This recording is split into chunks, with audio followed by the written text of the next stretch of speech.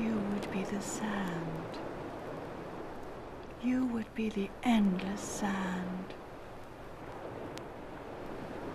And I would rush to meet you and flow into you. And you would dance and swirl in my warm blue embrace. And then we would part until the next time. And I would take with me a part of you, and I would leave with you a part of me. Sand in sea, sea in sand. You and me.